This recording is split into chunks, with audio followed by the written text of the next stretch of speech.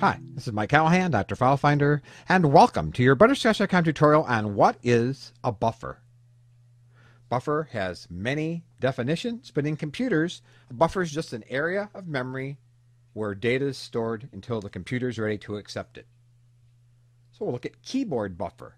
Now, whether you realize it or not, you have one, and you may well have seen it in action and just not realized it.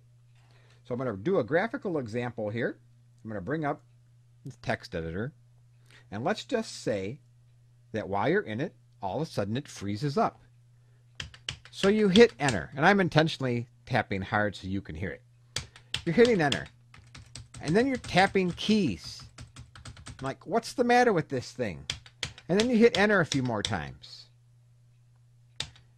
And then you hit a few more keys. And nothing's happening. And then all of a sudden, you get this blast of stuff on your screen. Well, what happens was that the stuff that you were entering was going into the keyboard buffer. And the buffer said, Whoa, the computer's frozen. We can't go out there because it's locked up. So let's just stay here in the buffer until the computer's ready. So all those keystrokes, enter, enter, enter, enter, enter, D, D, D, D, D, D, D, D, all stayed in the keyboard buffer, and then when the program unfroze, they were all released from the buffer in one flow. So that's a classic example of a buffer. Your printer has a buffer. It's used for spooling.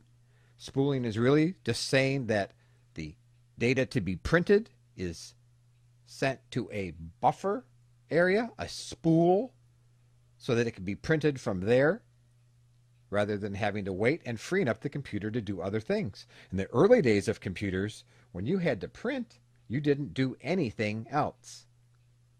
So if you had a term paper that was going to take 10 hours to print, you better not want to do anything else on your computer because it would spend 10 hours printing. Hence the creation of the print buffer. Every once in a while, you'll see an error that says either buffer overflow or buffer overrun, and that's simply a programming problem where the space that was allocated for buffering has been overrun. Data has burst outside of the boundaries of the buffer and it's caused a problem. So a buffer is just an area of memory that holds information until the computer is ready to handle it. And that's all there is to it.